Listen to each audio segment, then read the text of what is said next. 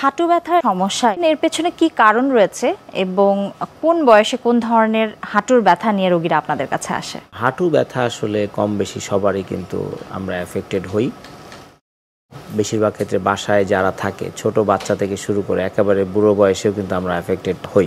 এই বয়স ভেদে কারণের কিছু পার্থক্য রয়েছে। যেমন বিশেষ করে আট বছর থেকে বারো বছর বা পনেরো বছর পর্যন্ত বাচ্চাদের ক্ষেত্রে আমরা অনেক সময় দেখি হাঁটু ব্যথা নিয়ে আসেন। এটি কোনো কোনো ক্ষেত্রে যদি কোনো কারণ খুঁজে না পাওয়া যায় তাহলে এটা আমরা গ্রোয়িং পেন বলি। আচ্ছা। কারণ হাঁটু যখন বাড়তে থাকে তখন এই দুই এন্ডে কিছু ব্যথা অনুভব হতে পারে। তবে এটি অনেক সময় দেখা ট্রমাজনিত হয়। বাচ্চার অনেক সময় তথ্য লুকায় যে একটা ট্রমা হয়েছে সে বলল না কয়দিন সে ব্যথায় ভুগছে তো এটি হতে পারে।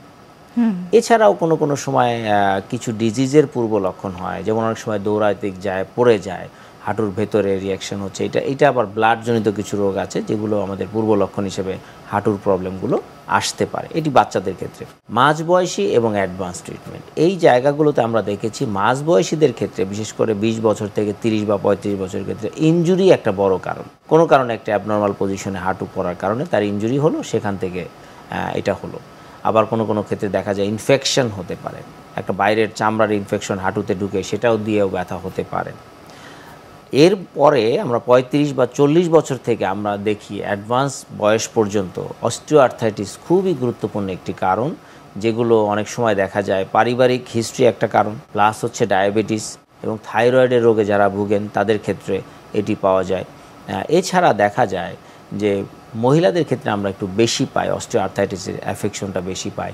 আবার অ্যাডভান্স বয়সে, বিশেষ করে সত্তরের পরে চলে গেলে অস্টিওআর্থাইটিসটা মেইন কারণ এবং দেখা যায় সেক্ষেত্রে হাঁটুর মুভমেন্ট হয় না, এটা একটা কারণ। হাঁটা চলা কমে যায়, তখন কিন্তু হাঁটুটা স্টিফ হয়ে যায় জয়েন্টটা তখন জয়েন্টের ফ্লুইডগুলো কমে যাওয়ার কারণে দেখা যায় অস্টিওআর্থাইটিসে আক্রান্ত হতে পারে।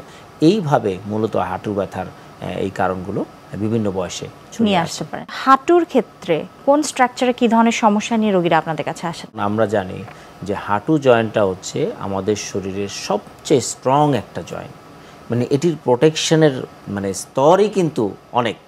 যেমন আপনি বাইরে চামড়া দেখছি আমরা এর ভেতরে প্রত্যেকটা প্রায় দুই থেকে তিন স্তরের প্রোটেকশন রয়েছে এই হাঁটু জয়েন্টে আচ্ছা। মানে একটা ক্ষতি হতে গেলে আগে তিন স্তর ক্ষতিগ্রস্ত হয়ে তারপরে হাঁটুতে ক্ষতি হবে। তো এটি এই জন্য আমরা বলি হাঁটু জয়েন্ট খুব মানে ক্ষতি হওয়াটা যেমন কঠিন আবার ক্ষতি একবার হয়ে গেলে এটা থেকে বের হয়ে আসাও অনেক কঠিন। আচ্ছা। তো এই জন্য আমরা বলি হাঁটুর ক্ষেত্রে যেটি হয় খুব কমনলি আমরা দেখি লিগামেন্ট যেগুলো একটা হাড়কে আরেকটা হাড়ের সাথে সংযুক্ত করছে অনেকগুলো লিগামেন্ট থাকে। এগুলোর মধ্যে স্পোর্টস ইনজুরিটা খুব বেশি কমন পায় আমরা দেখি এসিএল ইঞ্জুরি খেলাধুলার করতে যে হাঁটুর ইঞ্জুরি হলো খুব সিম্পল একটু পড়ে যাওয়ার পরে দেখা গেলো যে তার আর হাঁটু স্ট্যাবল হচ্ছে না সিঁড়ি বাইতে পারছে না ব্যথা অত বেশি না কিন্তু স্ট্যাবল হচ্ছে না। এই জায়গাটা পরে আমরা কনফার্ম করি বিভিন্ন পরীক্ষা নিরীক্ষার মাধ্যমে যে তার এসিএল ইনজুরি হলো। আরেকটা হয় কোনো কোনো ক্ষেত্রে লিগামেন্টে টান লেগে বা হঠাৎ করে ফুলে যাওয়া, আঘাত লাগা বা কোনো হাড়ে কোনো ট্রমা লেগে আমরা ওখানে ফুলে যেতে পারে। অথবা ইনফেকশন হয়ে চামড়া ইনফেকশন ভিতরে যে হাঁটুতে পানি জমে একেবারে বড় ধরনের ফুলে যে সেখানেও ইনফেকশন হতে পারে। এই জায়গাগুলো মেইনলি অ্যাফেক্টেড হয়।